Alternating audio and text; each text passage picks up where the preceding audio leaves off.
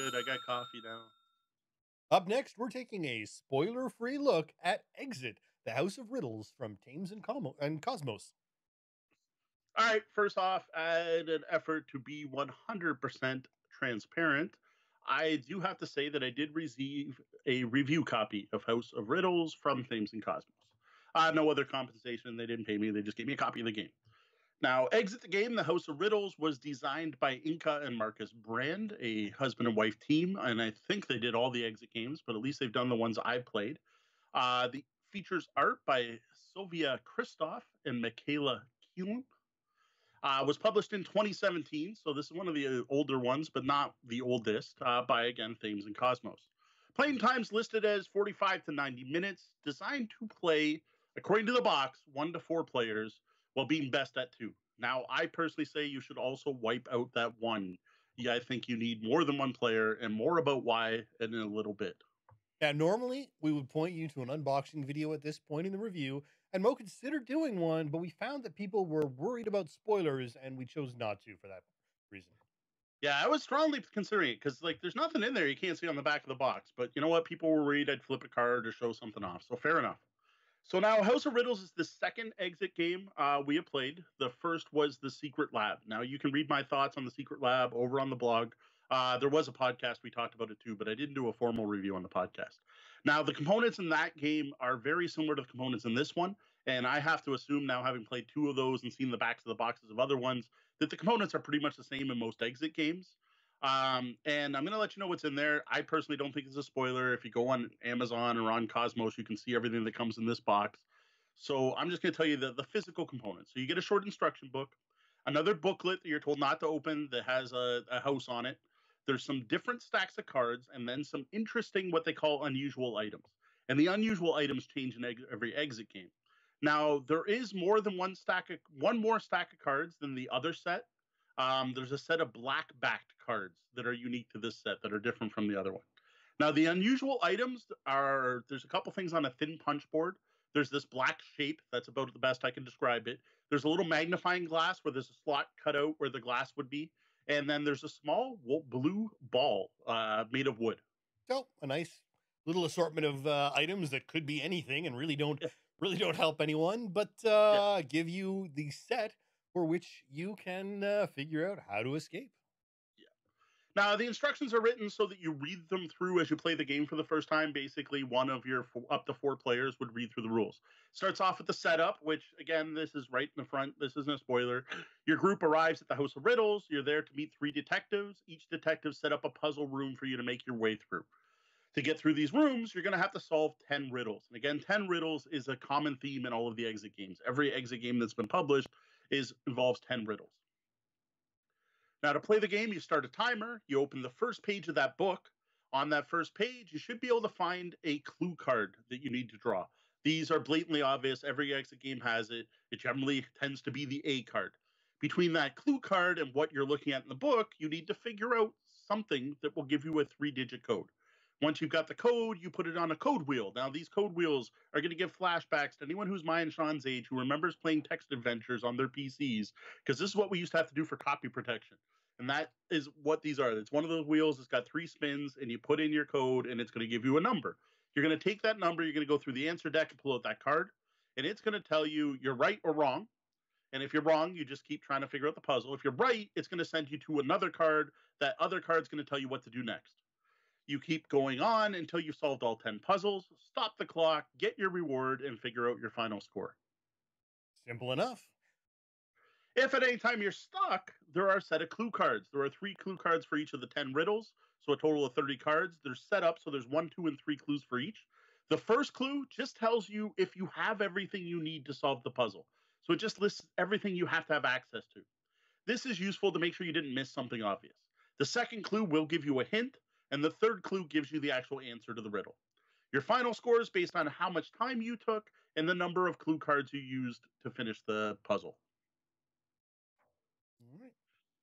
Now, because we played Secret Lab, we started off the House of Riddles already understanding the format. Like, there's just a certain style that the puzzles have in these exit games. And that really helped us get up and running, get going really quickly we immediately knew what we were looking for. And the first puzzle made it very obvious how to get that information. Like, well, we know we're looking for this, and oh, there it is right in front of us. We just got to do some, put the pieces in order to get the answer. Now, what was surprising is this continued as we completed puzzle after puzzle, drew more cards, and flipped through the book. Most of the puzzles were extremely straightforward. Like, not only was it obvious what you're looking for, but where to find that information. It was more about going through the process. To be honest, of the 10 puzzles in this, only two really gave us any pause or made us even have to stop and think and consult with each other. Well, I mean, puzzle makers in general have styles. Even crossword uh, designers or writers, you know, generally have a style. If, if you're, if you're, you, you can tell who has written a crossword puzzle if you're, mm-hmm. if you're that kind of person. Now, unfortunately, I wonder if this could be a concern uh, as as a as a gamer and not a, just a, a general person. As a gamer, if you've played one from these designers, uh, could the rest end up being too easy for this very reason that you sort of figured out their style and can roll through it, steamroller style?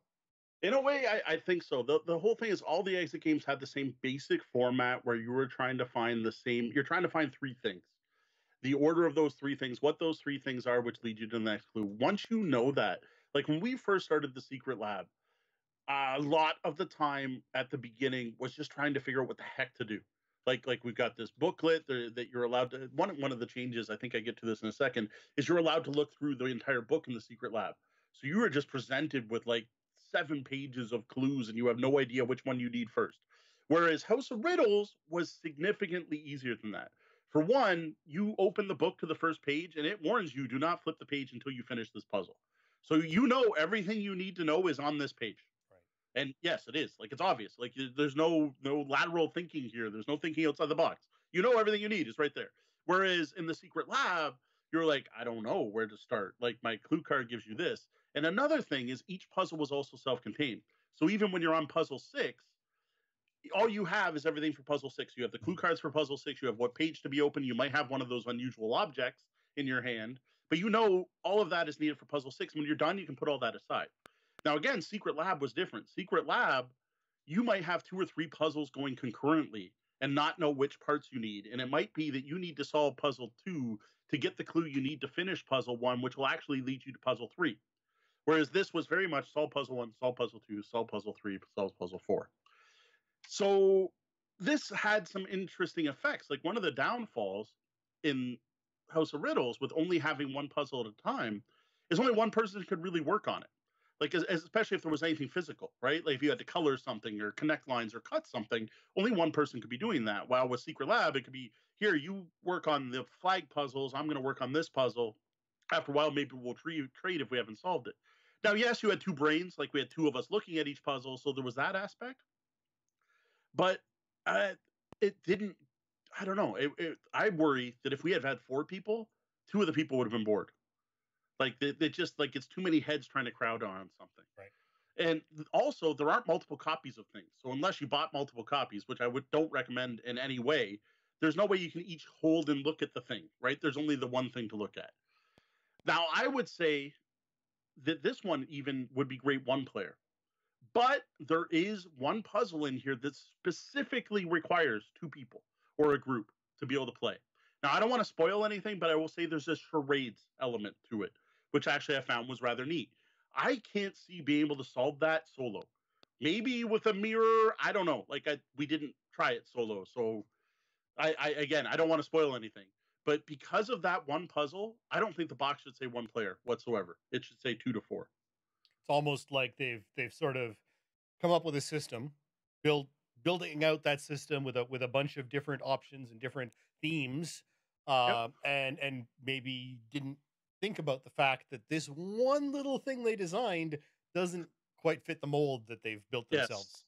Well, I have a feeling they probably put one to four on every box. Yeah, well, that's what every, I mean. Like they, they built this yeah. this this you know set of of things that they're doing, and you know X number yeah. of puzzles that involve this number of things, and you know a, a system to build it. Yeah. That uh, and then this one cool thing they came up with uh-huh. doesn't quite work as well as they thought yeah. it should. Like it, it literally says like your partner. I, right. I don't want to. I think Deanna even gave away a little bit more in the chat there, but it actually says like, you know do this with your partner. Right. So now, overall, it was fun. Like it was neat. I, I do. I love. I like the the the thing. It definitely helped knowing what to expect. That was a huge part of why we found this easy. But overall, it's just too easy. Like we never felt challenged. Um, for all but two of the puzzles, we literally figured out the second we flipped over the riddle card. It was like, oh, here's this map picture. Oh, here's this riddle card. Oh, obviously we have to connect these two things. Oh, flip this over. Oh, oh, those are the we're gonna cut those out and do this with it. Oh, flip that over. Oh, no, well, this is easy. We're gonna do this. Oh, wait. Oh, what's this? You know, like that happened a couple times. Um, now I do have to say we compare. I, I keep mentioning comparing it to Secret Lab and how Secret Lab was more difficult for multiple reasons. They said the biggest being you didn't know what clue went with what. Like you had multiple things going on at once, and you had to piece them together. And there was that whole A leads to B leads to C, which makes sense. So it's kind of neat. Like you may have the clue for A that you got in the first room, and you're trying to solve it. Well, it ends up you need something for three rooms later, which is cool, which totally worked. But it's harder. But you know what? Once I looked at it, I went and looked up the difficulty. Now, House of Riddles is a two out of five. All these games are ranked as a difficulty out of five. Secret Lab's a 3.5 out of five. So it's not only over the hill, right? Like if if three is your mid mark, it's over that by a, um, a margin. You're at 3.5 out of five. So it makes sense that this would be easier. Now, between the two of us, we finished in 45 minutes, whereas the perfect score is under half under an hour. I would say too that it was probably closer to half an hour because of the amount of time spent cutting. There were fiddly things you had to use scissors to cut out, and that took like 15 minutes probably worth of cutting in this game. Yeah, it's interesting. Uh, Ancient Games and and uh, Mitch Kayla in the chat room were talking, and I think I tend to agree that really I think the exit games are aimed at a more general audience and less specifically hobby gamer audience. I think I think you may be on the scale of problem solving a little more uh, advanced, especially when you've done multiple uh, yeah. boxes. I don't. Like I said, it's also the difficulty. Like looking at, I just wouldn't get a difficulty two ever again. To me, two two's too easy for us. Right. Whereas Secret Lab definitely like it. It took us more than an hour. It took us time. Like there was there were puzzles that took us a while to solve. We did get through it.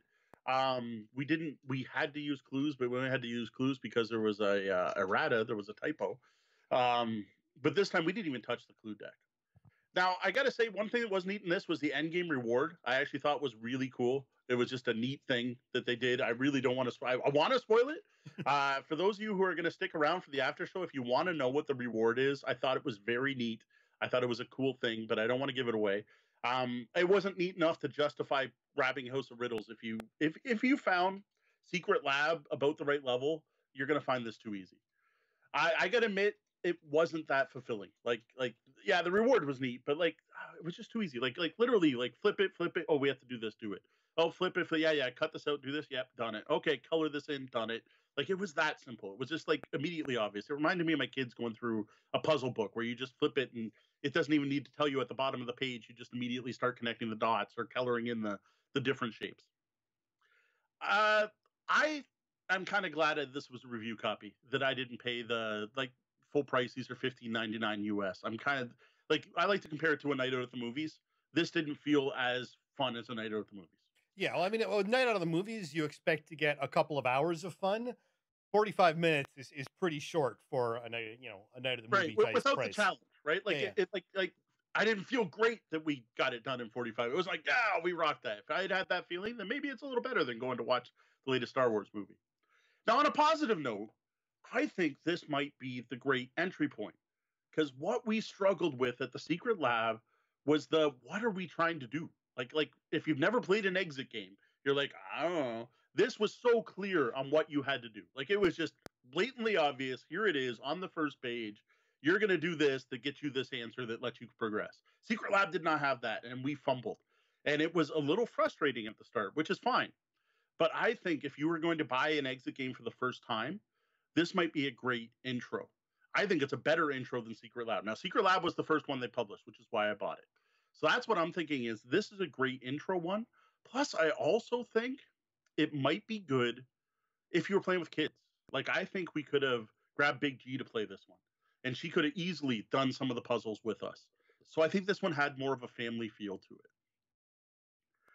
So I would say at this point, if you haven't tried an exit game, I do recommend the series. They are fun.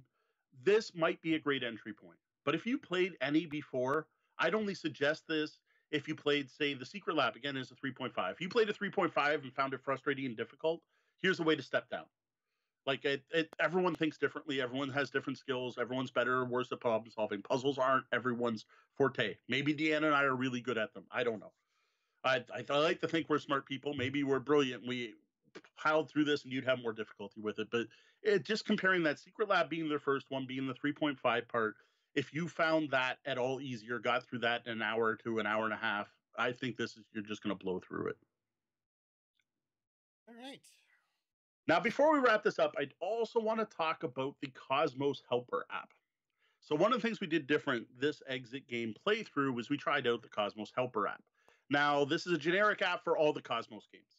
And it just has a list of, I don't know if it's every game they publish, but an awful lot of the games they publish. And each game will have different types of support. So for the exit games, there is literally a separate app for every exit game, which is kind of impressive, uh, including House of Riddles. Now, it includes two things that you get to choose from. One's a tutorial, and the second is a themed timer. Now, the tutorial seemed excellent. It completely replaces the rulebook from the box, introduces you to the game, gives you the background story with some like back sounds in the background and a guy with a British voice reading it off a little, you know, possibly more impressive than someone else at the table telling you the story. And then shows you how to play, like in detail with examples, with stop and do this now and has you open your box and set up your box and put the cards out and put uh, separate everything into piles and literally walks you through. This is great for visual learners. Plus, it adds some neat things, the neat, neat atmosphere. But it didn't match. The story was completely off. The story in the app said you are traveling by yourself to a castle to explore the surrounding territory. And then another part of the app mentions there's three detectives. You're going to try to save three detectives named Justus, Peter, and Bob. Well, the game we played, there were three detectives, but they were completely different names, which just was really odd. We had to rescue Sandra, Mario, and Tom. This is and, this is sounding a lot like uh, Lopan, Legacy of Lopan all over again. Yes, yeah, exactly. So so I don't get it. Like it was just weird. Like it was perfect for teaching us how to play, but we had to throw everything it told us about the story.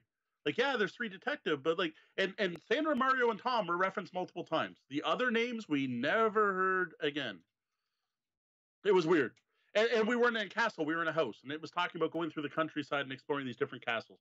So I don't know if they recorded the like. Are there two exit games where you're trying to save detectives? Uh, I do know these were published in German first, and they translated it one way, and then when they published it, they changed the name. I have no idea. I I have no idea what happened here why it was that far off, but man, that was confusing. Now the timer was great. I have no complaints about the timer. It's themed to the game. It has artwork that matched the artwork on the box. It had some background ambiance and sound effects and noises. Um, I noticed once we got past the half hour mark, it started to sound a little more, you know, panicked and agitated. Um, plus, it works out your score at the end, which was really cool. Like you hit done when you're done, and it asks how many clue cards, and then it gives you a nice screen that you can share on social media and stuff like that. So that part's cool. So I do recommend the app for the timer. And if you've never played an exit game before, you might want to go through one of the tutorials. Just ignore what they're they're saying about background. I, don't know. So there is I, there I, an exit called uh, the Forbidden Castle, but that's the only castle I can find in the entire list of exit games. Like, well, what what are the odds in the Forbidden Castle? You're also trying to save three detectives. Like, well, I, it is finally a vacation. Uh, the short description is finally a vacation. This year, you're going to a, an idyllic village in the mountains, taking the train. Yeah, that sounds like they might have mixed up the descriptions. Okay. Because, like, this one, this is the other thing, right? In the story, it says you're with the partners, and you need a partner while playing. That was the other thing. Like, right. like that again goes to the two players. Well, and that, and the Forbidden Castle talks about mentions sort of a group too, but and says one to four. So I wonder yeah. if I wonder if that's a. Like I said, I think it's a generic what they put on all their boxes. Right.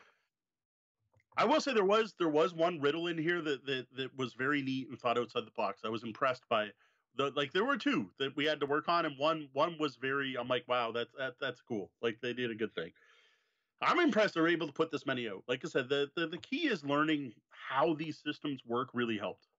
Like now that we know how exit games work. Unfortunately, I have one more to play here uh, we have the haunted roller coaster, and I'm a little worried because it's also difficulty two.